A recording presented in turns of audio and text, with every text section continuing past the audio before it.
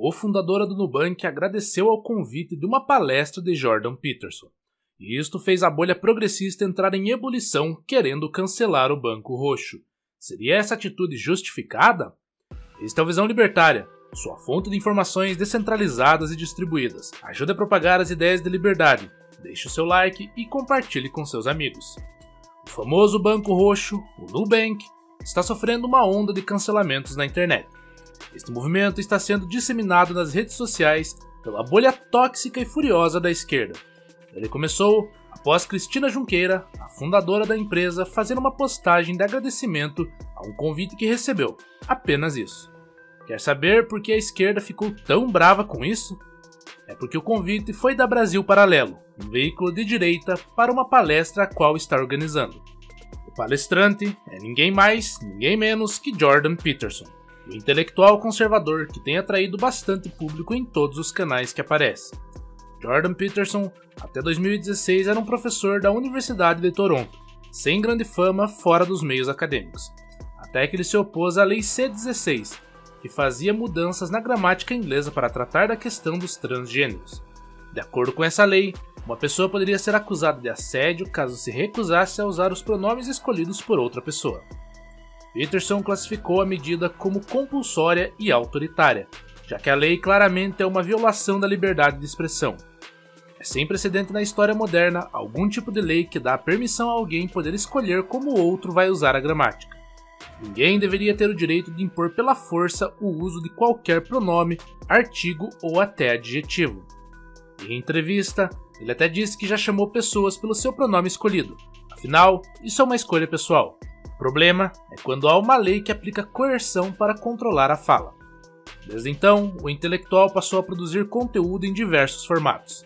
Escreveu três livros best-sellers, sendo o principal o 12 Regras para a Vida, um antídoto para o caos, com mais de 3 milhões de cópias. Também tem um canal no YouTube onde realiza entrevistas e faz parte da plataforma Daily Wire, com vários comunicadores de viés conservador de língua inglesa. Definitivamente é uma das maiores vozes da atualidade. Jordan Peterson virá ao Brasil em junho deste ano, para sua turnê We Who Wrestle with God, em tradução livre Nós que Lutamos com Deus. No dia 18 de junho, estará em São Paulo, no dia 20, em Porto Alegre. A Brasil Paralelo é parceira oficial na promoção dessa vinda. O Nubank está em um momento de alta e se tornou neste ano o banco mais valioso da América Latina, passando o Itaú. Naturalmente, quando uma empresa entra em muito destaque, ela se torna alvo dos socialistas que a colocam no mesmo saco dos supostos empresários malvadões. Na verdade, é tudo pela causa do controle do pensamento e do politicamente correto progressista. Os fatos pouco importam. De qualquer forma, chama atenção a forma como o cancelamento é usado para tentar calar a opinião alheia. Por que é tão difícil conviver com quem pensa diferente? Antes de tudo, é importante entender que cancelar ou boicotar é um direito de todos.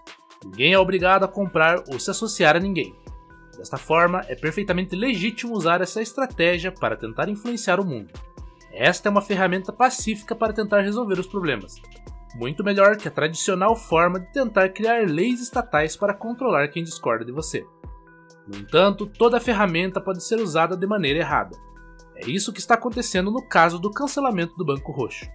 Primeiramente, não é possível afirmar que a própria cofundadora do Nubank seja conservadora, já que ela somente aceitou um convite, sem entrar no mérito do assunto da palestra. Aliás, o Jordan Peterson também fala muito de desenvolvimento pessoal e religião. Então é capaz que ele não entre tanto em assuntos políticos em sua palestra. Pode ser que Cristina Junqueira esteja interessada nesse tipo de conteúdo, não na parte política. Pode até ser que a fundadora só tenha sido educada com o convite recebido, sem fazer juízo de valor sobre o conteúdo da palestra. Ainda assim, mesmo que Cristina seja conservadora, isso seria motivo para um boicote? Em teoria, essa prática deveria ser usada para rechaçar questões absurdas, por exemplo, alguma empresa que desrespeita ou abuse de seus clientes ou funcionários. É até aceitável que certo lado político faça boicote quando a empresa toma algum partido de forma oficial. Por exemplo, no caso de chamar algum influenciador de política para uma campanha de marketing. Mas no caso de Cristina, a postagem foi feita em sua rede social pessoal, não sendo uma ação institucional da empresa. Claramente, este cancelamento se trata de uma intolerância dessas seitas progressistas, que vivem pregando o amor e expelindo virtudes na internet. O cancelamento não deveria ser usado para tentar calar a opinião política das pessoas e gerar terror. Boicotar o banco significa punir também todos os outros acionistas, funcionários e fornecedores. Realmente importa tanto assim se a fundadora da empresa é progressista ou conservadora? A quem ela faz tanto mal? Esse comportamento intolerante típico das seitas é um mal da atualidade. As pessoas estão sendo treinadas a odiar o outro lado da política, sem nem analisar os seus argumentos ou avaliar a situação de forma imparcial. Cada dois anos temos eleições, quando um lado político se degladia com o outro para tomar o poder. Até o debate entre os políticos é de baixo nível, com poucas ideias explicadas e muitas ofensas ao lado oposto, sem mencionar as promessas mentirosas e para lá de populistas. Poucos tentam entender as dores do próximo e as discussões se tornam guerras retóricas, vazias de honestidade na qual as pessoas evitam chegar à verdade. O pior de tudo é que toda essa briga por poder não faz sentido, já que não deveria existir um único poder para começo de conversa. Por que há uma única instituição que faz as leis, que julga e que pune? Por que tem que ter um grande Estado que decide sobre a vida de todos? É claro que isso vai gerar brigas, pois quem está no poder pode marretar as regras nos outros. O ideal é que cada um escolhesse a instituição que melhor representa os seus anseios, de forma voluntária. Se você é um conservador, poderia se associar a uma instituição do seu gosto. O mesmo seria possível para os progressistas. Não haveria necessidade de forçar todos de um país a seguir as mesmas regras. Um mundo sem governos coercitivos e centralizados seria muito mais pacífico teria mais entendimento entre as pessoas, pois seria baseado em instituições e organizações legítimas e voluntárias. O livre mercado, regido pela ética libertária, por definição não obrigaria ninguém a nada. As pessoas teriam que resolver os problemas sem uso de coerção, ou seja, de uma forma ou de outra teriam que colaborar. E esse é um ambiente muito mais propício para a resolução de problemas e para a evolução moral. Não é à toa que países mais livres são mais pacíficos e mais prósperos.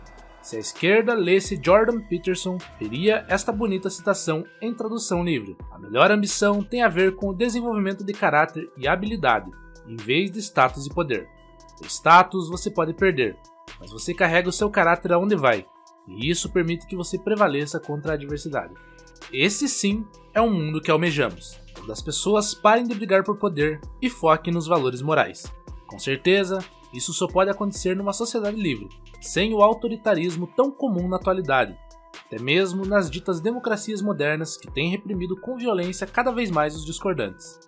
Temos aqui outra citação do escritor, em tradução livre: Escuta a si mesmo e aqueles com quem fala. Sua sabedoria não consiste no conhecimento que você já tem, mas na contínua busca por conhecimento, que é o mais alto grau de sabedoria. Enfim, parabéns a Cristina Junqueira que além de ter construído uma importante empresa, contribui enormemente para a sociedade, continua buscando conhecimento, indo a relevantes palestras. Obrigado pela audiência. Este artigo foi escrito por Lona Chons, revisado por historiador libertário e narrado por Gordinho Caipira. Este é um canal colaborativo. Um artigo seu pode virar vídeo aqui também, sabia?